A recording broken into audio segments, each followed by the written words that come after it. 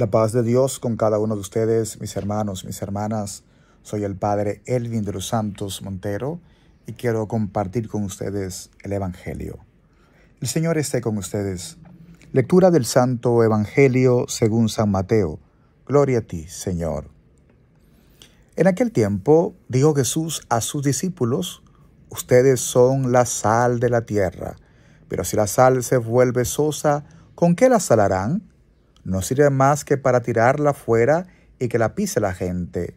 Ustedes son la luz del mundo. No se puede ocultar una ciudad puesta en lo alto de monte. Tampoco se enciende una lámpara para meterla debajo del celemín, sino para ponerla en el candelero y que alumbre a todos los de casa. Brilla así su luz ante los hombres, para que vean sus buenas obras y den gloria a su Padre que está en los cielos. Palabra del Señor.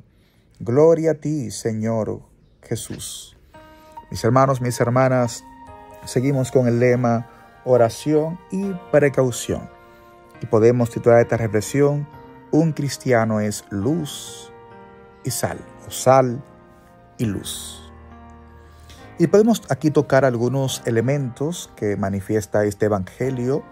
Y el primero es sal.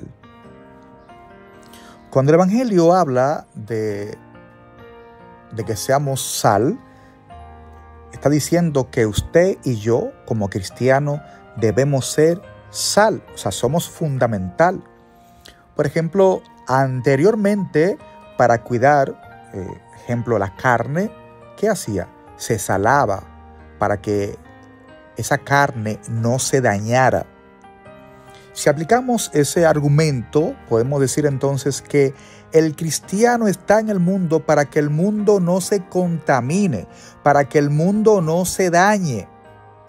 Y usted en su casa como cristiano está ahí para que su familia no se dañe.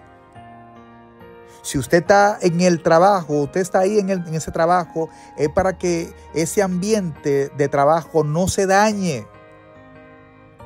En la universidad, en cada uno de los escenarios, en cada uno de sus ambientes, es para que ese ambiente no se contamine. Usted está ahí para eso, sal. Pero la sal también le da un qué? Un sabor a la comida, por ejemplo. Una comida que no se le eche sal es difícil comérsela. Por tanto, la sal está para qué? Para darle sabor a la comida. Y si el, cristiano es sal en el mundo, es para que el cristiano le dé sabor a Cristo, al mundo. Y cuando hablamos del mundo, estamos hablando de los diferentes escenarios donde el cristiano está, debe tener sabor a Cristo. La segunda eh, imagen, palabra, es luz. Cuando se vive un ambiente de oscuridad, uno está perdido. Cuando en la familia hay oscuridad, la familia está perdida.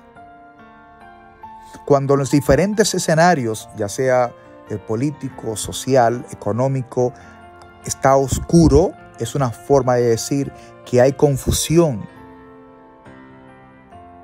Por tanto, hace falta luz. Entonces, ¿cuál es la función de un cristiano? Ser luz en la oscuridad. No es para que te esconda, porque cuando hay una lámpara, no se mete debajo, sino se pone arriba para que pueda hacer su función. Por tanto, hermano, hermana, ya basta de estar escondido, de estar escondida.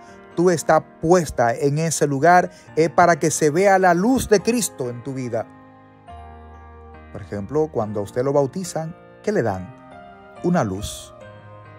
Diciendo, afirmándote, afirmándome que somos luz de Cristo el cirio en la Iglesia Católica que representa la luz, representa a Cristo. Y de ese cirio que representa a Cristo, cuando usted lo bautizan en la vigilia pascual, también ¿qué hace? Encendemos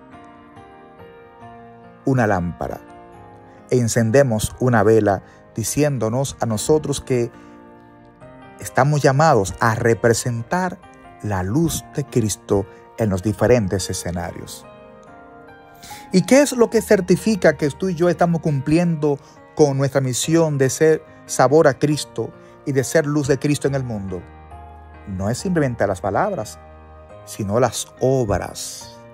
Las obras son lo que los hermanos, lo que el mundo dice, wow, ahí hay un hombre, una mujer de Dios, no simplemente por lo que lo dice, sino por las obras, porque lo que evidencia lo que somos, más que las palabras, son las obras. Y estas obras que los hermanos ven es para darle gloria a Dios. Señor, ayúdanos a cada uno de nosotros a ser sal y luz en el mundo, más que con las palabras, con las obras. Amén. Mis hermanos, mis hermanas, compartan con sus contactos este Evangelio y recuerden que bajo el manto de María Santísima cabemos todos. La bendición de Dios Todopoderoso, Padre, Hijo y Espíritu Santo, descienda sobre cada uno de ustedes, familiares y amigos, y permanezca para siempre. Amén.